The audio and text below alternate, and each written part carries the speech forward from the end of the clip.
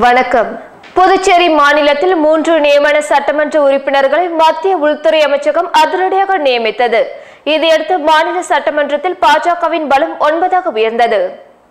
புதுவை மாநிலத்தில் கடந்த ஏப்ரல் மாதம் ஆறாம் தேதி சட்டமன்ற தேர்தல் நடைபெற்றது. இதில் என்ஆர் காங்கிரஸ் பாஜக அதிமுக ஒரு அணியாகும் காங்கிரஸ் திமுக விசிக கம்யூனிஸ்ட் கட்சிகள் ஒரு அணியாகவும் மோதின. இறுதியில் முப்பது தொகுதிகளை கொண்ட புதுவை சட்டமன்றத்தில் பத்து மற்றும் ஆறு தொகுதிகளை என்ஆர் காங்கிரஸ் மற்றும் பாஜகவினர் கைப்பற்றினர். இதையடுத்து என்ஆர் காங்கிரஸ் பாஜக கூட்டணி ஆட்சி உறுதியானது. தொடர்ந்து புதுவையின் புதிய முதல்வராக ரங்கசாமி பதவியேற்றுக் கொண்டார். இதன் தொடர்ச்சியாக முதல்வர் ரங்கசாமிக்கு கொரோனா தொற்று ஏற்பட்டு சென்னை தனியார் மருத்துவமனை ஒன்றில் அனுமதிக்கப்பட்டுள்ளார். இந்த சூழ்நிலையில் மத்திய உள்துறை அமைச்சகம் புதுவை மாநிலத்திற்கு மூன்று பாஜக நியமன சட்டமன்ற உறுப்பினர்களை நியமித்துள்ளது. அவர்கள் பாஜகவை சேர்ந்த வெங்கடேசன் ராமலிங்கம் அசோக் பாபு ஆவர். இதனையடுத்து புதுவை மாநிலத்தில் பாஜகவின் சட்டமன்ற உறுப்பினர்களின் பலம் ஒன்பதாக உயர்ந்துள்ளது குறிப்பிடத்தக்கது. புதுச்சேரியில் கடந்த ஒரு நாளில் உச்சபட்சமாக இரண்டாயிரத்தி நாற்பத்தி ஒன்பது பேருக்கு கொரோனா தொற்று ஏற்பட்டுள்ளதும் முப்பது பேர் இறந்துள்ளதும் மாநில மக்கள் மத்தியில் பெரும் அதிர்ச்சியையும் சோகத்தையும் ஏற்படுத்தியுள்ளது. புதுச்சேரி மாநிலத்தில் கொரோனா நோய் தொற்றானது படிப்படியாக குறைய தொடங்கிய நிலையில் தற்பொழுது மீண்டும் உயர்ந்து வருகிறது. புதுச்சேரி மாநிலத்தில் இதுவரை எழுபத்தி ஐந்தாயிரத்தி இருபத்தி நான்கு பேருக்கு தொற்று இருப்பதாக சுகாதாரத்துறை தெரிவித்துள்ளது. குறிப்பாக மருத்துவமனைகளில் இரண்டாயிரத்தி எழுபத்தி இரண்டு பேரும் வீடுகளில் பனிரெண்டாயிரத்தி எழுநூற்றி ஐம்பத்தி ஏழு பேரும் என மொத்தம் பதினான்காயிரத்தி எட்நூற்றி இருபத்தி ஒன்பது பேர் கொரோனா நோய் தொற்று காரணமாக சிகிச்சையில் உள்ளனர். இதுவரை ஐம்பத்தி ஒன்பதாயிரத்தி நூற்றி எழுபத்தி ஏழு பேர் நோய் தொற்றிலிருந்து குணமாகிவிட்டனர். மேலும் இதுநாள் வரை ஆயிரத்தி பதினெட்டு பேர் கொரோனாவால் உயிரிழந்துள்ளனர். மேலும் புதுச்சேரியில் எட்டு லட்சத்தி எழுபத்தி ஓராயிரத்தி இருநூற்றி எழுபத்தி மூன்று பேருக்கு கோவிட் மருத்துவ பரிசோதனை செய்ததில் ஏழு லட்சத்தி எண்பத்தி நான்காயிரத்தி இருநூற்றி இருபத்தி ஆறு பேருக்கு தொற்று இல்லை என தெரிய வந்துள்ளது. கடந்த ஒரு நாளில் ஒன்பதாயிரத்தி ஐம்பத்தி எட்டு பேருக்கு பரிசோதனை செய்யப்பட்டதில் இரண்டாயிரத்தி நாற்பத்தி ஒன்பது பேருக்கு புதிதாக தொற்று ஏற்பட்டுள்ளது பெரும் அதிர்ச்சி ஏற்படுத்தியுள்ளது. இதை தவிர ஆயிரத்தி முன்னூற்றி ஐம்பத்தி ஒன்பது பேர் நோய் தொற்று குணமாகி வீடு திரும்பியுள்ளனர் கடந்த ஒரு நாளில் கொரோனாவால் முப்பது பேர் உயிரிழந்துள்ளனர். இதனை புதுச்சேரி மாநில சுகாதாரத்துறையும் உறுதிப்படுத்தியுள்ளது. புதுச்சேரி ஜிப்மர் மருத்துவமனைக்கு எழுபது ஆக்சிஜன் செறிவூட்டல் மற்றும் புதுச்சேரி சுகாதாரத்துறைக்கு நாற்பது ஆக்சிஜன் செறிவூட்டல்களை மத்திய அரசு வழங்கி உள்ளதாக கூறிய துணைநிலை ஆளுநர் தமிழிசை சவுந்தரராஜன் மக்கள் விழிப்போடு இருந்தால் மட்டுமே நோய் தொற்றை தடுக்க முடியும் என பொதுமக்களுக்கு வேண்டுகோள் விடுத்துள்ளார். புதுச்சேரி துணைநிலை ஆளுநர் மாளிகையில் இந்திய முறை மருத்துவம் மற்றும் ஹோமியோபதி துறை மூலம் ஆயுஷ் கவாத் எனும் நோய் எதிர்ப்பு சக்தி மருந்து பொட்டலங்கள் பத்தாயிரம் காவல்துறைக்கு வழங்கும் நிகழ்ச்சி நடைபெற்றது. இந்த நிகழ்ச்சியில் துணைநிலை ஆளுநர் கலந்து கொண்டு இவற்றை வழங்கினார். தொடர்ந்து அவர் செய்தியாளர்களை சந்தித்த போது புதுச்சேரியில் நோய் தொற்றால் பாதிக்கப்பட்டவர்களின் எண்ணிக்கையும் இறப்பவர்களின் எண்ணிக்கையும் தொடர்ந்து அதிகரித்து வருகிறது. நோய் தடுப்புக்கு அரசு கடுமையான நடவடிக்கை எடுத்தும் தொற்று அதிகரித்து வருகிறது. இதில் தற்போது இளைஞர்களின் இறப்பு விகிதமும் அதிகரித்து வருகிறது. எனவே மக்கள் தங்களை தற்காத்துக் கொள்ளவில்லை எனில் நோய் தொற்று அதிகரித்து வருவதையும் தடுக்க முடியாது என கூறிய அவர் நோய் தடுப்பு முறைகளை அரசு அதிகப்படுத்தி வருவதாகவும் ஒரு வாரத்திற்குள் நெட்டப்பக்கம் பகுதியில் இயற்கை முறையில் சிகிச்சை மையம் ஒன்று அமைக்கப்படும் என்றும் அவர் தெரிவித்தார். மேலும் கூறிய அவர் ஆக்சிஜன் உற்பத்தியை அதிகரிக்க புதுச்சேரி இந்திரா காந்தி மருத்துவமனையிலும் மற்றும் ஏனம் பகுதியிலும் உற்பத்தி மையங்கள் துவங்கப்பட்டுள்ளது. மேலும் புதுச்சேரி ஜிப்மர் மருத்துவமனைக்கு எழுபது ஆக்சிஜன் செறிவூட்டல் மற்றும் புதுச்சேரி சுகாதாரத்துறைக்கு நாற்பது ஆக்சிஜன் செறிவூட்டல்களும் மத்திய அரசு வழங்கி உள்ளதாகவும் அவர் தெரிவித்தார். எனவே மக்கள் விழிப்புணர்வுடன் இருந்து நோயை முற்றிலும் தடுக்க முன்வர வேண்டும் என்றும் ஆளுநர் தமிழிசை சவுந்தரராஜன் நிருபர்கள் மூலம் வேண்டுகோள் விடுத்தார். நாம் இந்த கட்டுப்பாடை தீவிரப்படுத்தவில்லை என்றால் கரோனா தீவிரப்பட்டுவிடும். இதை எல்லாரும் உணர வேண்டும் நான் இன்னொரு பொதுமக்களுக்கு ஒரு கோரிக்கை இப்போ குழந்தைகள் அதிகமாக பாதிக்கப்படுகிறார்கள். தமிழ்நாட்டில் பார்த்தீங்கன்னா ஆயிரத்திற்கு மேற்பட்ட குழந்தைகள் பாதிக்கப்பட்டிருக்கிறார்கள். இங்கேயும் நாங்கள் குழந்தைகளுக்கெல்லாம் டெஸ்ட் பண்ண ஆரம்பிக்கிறோம். வீட்டில் உள்ளவர்கள் வெளியே போயிட்டு வீட்டுக்குள்ள வந்தால் அப்பாவியாக வீட்டில் உள்ள குழந்தைகள் பாதிக்கப்படுகிறார்கள். அதனால வெளியே போறத தயவு செய்து தடுங்கள். நீங்கள் உங்கள் கையில் தான் இருக்கிறது என்பதை மறுபடியும் நான் கேட்டுக்கொள்கிறேன். அரசாங்கம் உங்களுக்கு துணை நிற்க தயாராக இருக்கிறது. ஆனால் நீங்கள் அரசாங்கத்திற்கு துணை நில்லுங்கள் என்பது எனது தாழ்மையான வேண்டுகோளாக இருக்கிறது. புதுச்சேரி முதலமைச்சர் ரங்கசாமிக்கு கொரோனா தொற்று ஏற்பட்டுள்ளதை அடுத்து அவரது சட்டமன்ற அலுவலகம் எழுத்து மூடப்பட்டது. முன்னதாக முதல்வர் அலுவலகம் முழுவதும் கிருமி நாசினி தெளிக்கப்பட்டது. புதுவை மாநில முதல்வர் ரங்கசாமிக்கு கொரோனா நோய் தொற்று ஏற்பட்டுள்ளதை அடுத்து அவர் சென்னையில் உள்ள பிரபல மருத்துவமனை ஒன்றில் அனுமதிக்கப்பட்டுள்ளார். இந்த நிலையில் புதுவை சட்டமன்றத்தில் உள்ள முதல்வர் அலுவலகம் அதனை சார்ந்துள்ள செயலர் உள்ளிட்ட அதிகாரிகள் அலுவலகங்களிலும் கிருமி நாசினி தெளிக்கப்பட்டது. இதையடுத்து முதல்வர் அலுவலகம் நாற்பத்தி எட்டு மணி நேரம் மூடப்பட்டது. பின்னர் கடந்த சில நாட்களில் முதல்வரை சந்தித்தவர்கள் முதல்வருடன் தொடர்பில் இருந்தவர்கள் பற்றிய விவரங்களை மாநில சுகாதாரத்துறையும் சட்டமன்ற செயலர் அலுவலகமும் திரட்டி வருகிறது. மேலும் அவர்களை கோவிட் பரிசோதனை செய்து கொண்டு தனிமைப்படுத்திக் கொள்ள வேண்டும் என்றும் புதுவை மாநில சுகாதாரத்துறை அறிவுறுத்தி உள்ளது குறிப்பிடத்தக்கது. குறிப்பிடத்தக்கது புதுவை மாநில முதலமைச்சர் ரங்கசாமி நலமாக இருக்கிறார் என்று சென்னையின் பிரபல மருத்துவமனை நிர்வாகம் விளக்கம் அளித்துள்ளது. புதுச்சேரி மாநில முதலமைச்சர் ரங்கசாமியின் உதவியாளர் ஜவகருக்கு சமீபத்தில் கொரோனா நோய் தொற்று உறுதி செய்யப்பட்டது. இதையடுத்து முதல்வர் ரங்கசாமி தனது காரில் யாரையும் ஏற்றுவதில்லை. இந்த நிலையில் முதல்வருக்கு உடல்நிலை பாதிக்கப்பட்டது. பின்னர் அவருக்கு மருத்துவ குழுவினர் கோவிட் பரிசோதனை மேற்கொண்டனர். அப்போது முதல்வருக்கு தொற்றிருப்பது தெரிய வந்தது தொடர்ந்து முதல்வர் ரங்கசாமி சென்னையில் உள்ள பிரபல மருத்துவமனை ஒன்றில் அனுமதிக்கப்பட்டார். அங்கு அவருக்கு சிகிச்சை அளிக்கப்பட்டு வருகிறது. இந்த நிலையில் சென்னை எம்ஜிஎம் மருத்துவமனை நிர்வாகம் தரப்பில் புதுச்சேரி முதல்வர் ரங்கசாமிக்கு தற்போது உடல்நிலை நன்றாக இருக்கிறது. மிக விரைவில் அவர் குணமடைந்து புதுச்சேரி திரும்புவார். இவர் சென்னை தனியார் மருத்துவமனை நிர்வாகம் தனது செய்திக்குறிப்பில் தெரிவித்துள்ளது.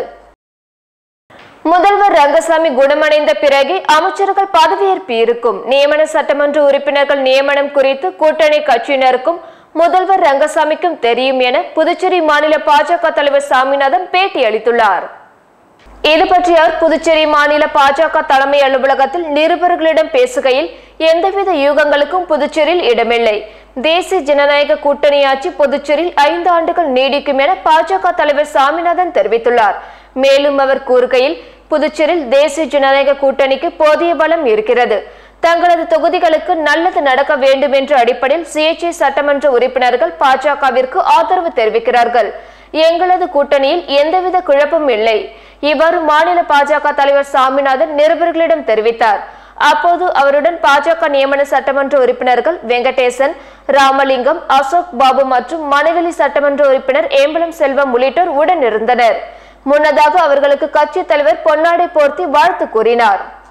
நம்மளுடைய முதலமைச்சர் அவர்களுக்கு வந்து கொரோனா தொற்று இருக்கிறதுனால இது வந்து எதிர்பார்க்காத ஒன்று கிட்டத்தட்ட ரெண்டு மூணு நாளில் முடிய வேண்டியது. அவர் வந்த உடனே கண்டிப்பாக அதுக்கான தேதி உடனடியாக வந்து அது வந்து கண்டிப்பாக இது பண்ணுவாங்க.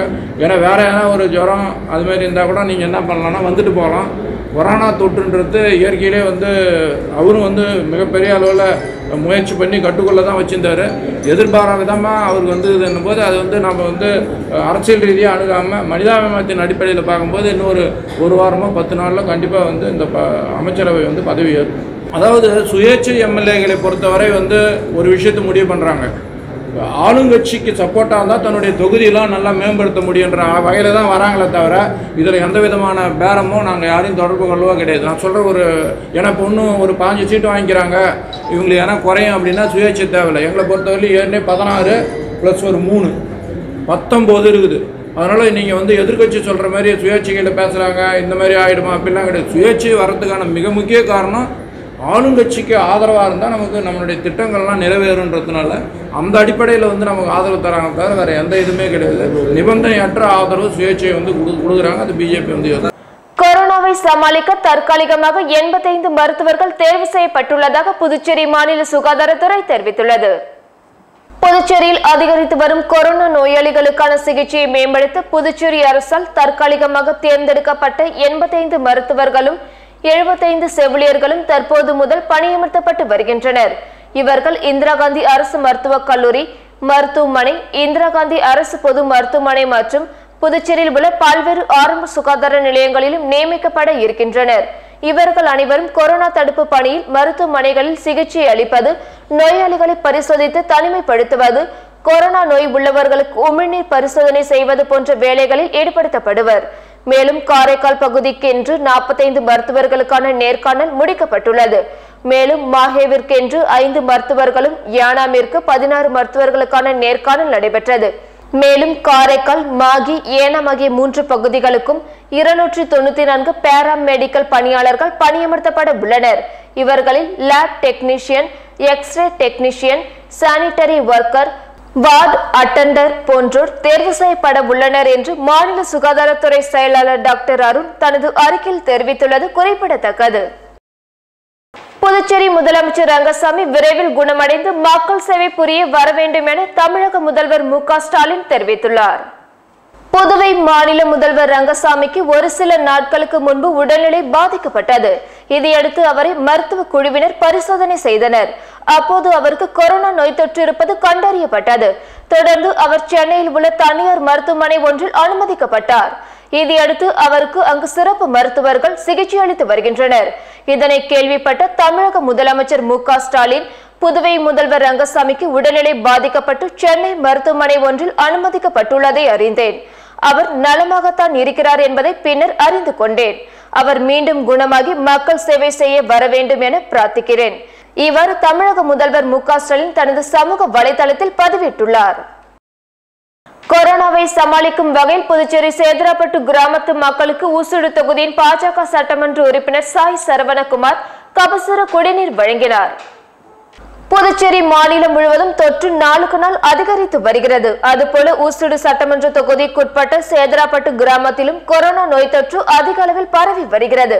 ஆகவே அதனை கருத்தில் கொண்டு ஊசுடு தொகுதியின் சட்டமன்ற உறுப்பினர் சாய் சரவணகுமார் சேதராப்பட்டு முழுவதும் கபசுர குடிநீர் வழங்குவது மற்றும் கிருமி நாசினி தெளிப்பதற்கான ஏற்பாடுகளை செய்திருந்தார். மேலும் இந்த கொரோனா காலம் முடியும் வரை அந்த பகுதி முழுவதும் ஐநூறுக்கும் மேற்பட்டவர்களுக்கு தினம்தோறும் அன்னதானம் வழங்கும் நிகழ்ச்சியையும் அவர் தொடங்கி வைத்தார். இந்த நிகழ்ச்சியில் ரங்கராஜலு வீர ராகவன் புருஷோத்தமன் தங்கம் ஏழுமலை தேவராசு தேவா பூபாலன் மற்றும் கிராம பொதுமக்கள் திரளாக கலந்து கொண்டனர்.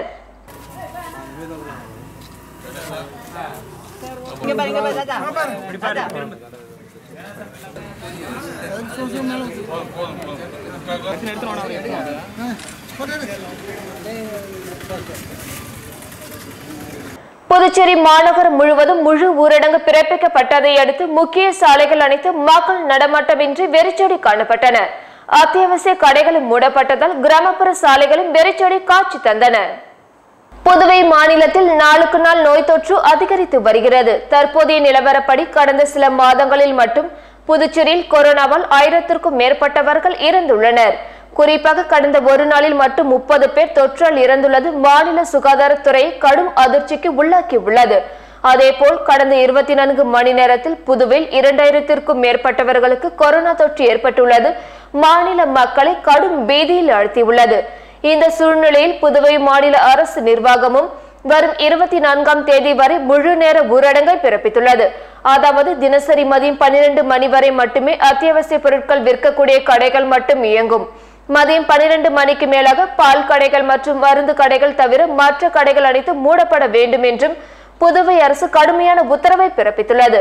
அதுபோன்று அரசு மற்றும் தனியார் பேருந்துகள் டாக்ஸிகள் டெம்போக்கள் ஆட்டோக்கள் வரும் இருபத்தி நான்காம் தேதி வரை இயங்கும் தடை விதிக்கப்பட்டுள்ளது. இதன் காரணமாக புதுவையின் முக்கிய சாலைகள் அனைத்தும் மக்கள் நடமாட்டமின்றி வெறிச்சோடி காணப்பட்டன. குறிப்பாக அத்தியாவசிய பொருட்கள் விற்கக்கூடிய கடைகளும் மதியம் பன்னிரண்டு மணிக்கு மேலாக அவசர அவசரமாக மூடப்பட்டன. இதையடுத்து மாநகரின் முக்கிய சாலைகளில் காவல்துறை சார்பாக ஆங்காங்கே பேரி கார்டுகளும் போடப்பட்டிருந்தது குறிப்பிடத்தக்கது. கொரோனா தொற்றில் பாதிக்கப்பட்டு புதுச்சேரி அரசின் துணை தாசில்தார் ஒருவர் பலியான சம்பவம் பெரும் அதிர்ச்சியை ஏற்படுத்தியுள்ளது. புதுவை மாநிலத்தில் மிக வேகமாக கொரோனா தொற்று பரவி வருகிறது. இதில் அரசு ஊழியர்கள் அரசியல் பிரமுகர்கள் காவல்துறையினர் இளைஞர்கள் முதியோர்கள் என யாரும் தப்பவில்லை. தற்போதைய நிலையில் புதுவையில் கொரோனா பலியின் எண்ணிக்கை ஆயிரத்தை நெருங்கிவிட்டது. அதுபோல புதுச்சேரியில் தினசரி தொற்றின் எண்ணிக்கை சராசரியாக ஆயிரத்தி ஐநூறு என்ற நிலையிலும் தினசரி கொரோனா பலியின் எண்ணிக்கை சராசரியாக பதினைந்து என்ற நிலையிலும் இருப்பது பெரும் ஆபத்தாகும். இந்த நிலையில் புதுவை மாநில கலால் துறையின் துணை தாசில்தார் குமார் கொரோனா நோய் தொற்றல் பலியான சம்பவம் சக அதிகாரிகள் ஊழியர்கள் மத்தியில் பெரும் அதிர்ச்சியையும் சோகத்தையும் ஏற்படுத்தியுள்ளது. இவர் புதுவை மோகன் நகரில் வசித்து வந்தார். மேலும் இவர் தேர்தல் நடத்தும் அதிகாரியாகவும் பணியாற்றி வந்தார் என்பது குறிப்பிடத்தக்கது. புதுச்சேரி மாநிலத்தில் திடீரென மின் கட்டணம் உயர்த்தப்பட்டுள்ளது. இது பற்றி புதுச்சேரி மீன்துறை வெளியிட்டுள்ள அறிக்கையில் புதுவையில் இரண்டாயிரத்தி இருபத்தி ஒன்று முதல் இரண்டாயிரத்தி இருபத்தி இரண்டாம் ஆண்டுக்கான மீன் கட்டணம் மாற்றி அமைக்கப்பட்டுள்ளது. இதன்படி நூறு யூனிட் வரையிலான மீன் பயன்பாட்டிற்கு ஒரு ரூபாய் ஐம்பது காசிலிருந்து ஒரு ரூபாய் ஐந்து காசாகும். நூற்றி ஒன்று முதல் இருநூறு யூனிட் வரையிலான மீன் பயன்பாட்டிற்கு இரண்டு ரூபாய் ஐம்பத்தைந்து காசிலிருந்து இரண்டு ரூபாய் அறுபது காசாகும். இருநூற்றி ஒன்றிலிருந்து முன்னூறு யூனிட் வரையிலான மின் பயன்பாட்டிற்கு நான்கு ரூபாய் ஐம்பது காசிலிருந்து நான்கு ரூபாய் அறுபத்தைந்து காசாகும். முன்னூறு யூனிட் மேல் மின் பயன்பாட்டிற்கு ஐந்து ரூபாய் தொண்ணூறு காசிலிருந்து ஆறு ரூபாய் ஐந்து காசாகும் உயர்த்தப்பட்டுள்ளது. இது தவிர வர்த்தக பயன்பாட்டுக்கு நூறு யூனிட் வரை ஐந்து ரூபாய் அறுபது காசிலிருந்து ஐந்து ரூபாய் எழுபது காசாகும். நூற்றி ஒன்று முதல் இருநூறு யூனிட் வரை ஆறு ரூபாய் அறுபது காசிலிருந்து ஆறு ரூபாய் எழுபத்தைந்து காசாகும். இருநூற்றி ஐம்பது யூனிட்டுக்கு மேல் ஏழு ரூபாய் நாற்பது காசிலிருந்து ஏழு ரூபாய் ஐம்பது காசாகும் என நிர்ணயிக்கப்பட்டுள்ளது. இந்த புதிய மின் கட்டணம் ஏப்ரல் ஒன்றாம் தேதி முதல் அமல்படுத்தப்பட்டுள்ளது. இவர் புதுவை அரசின் மின்துறை அறிக்கையில் தெரிவிக்கப்பட்டுள்ளது. இத்துடன் செய்திகள் நிறைவடைந்தன. வணக்கம்.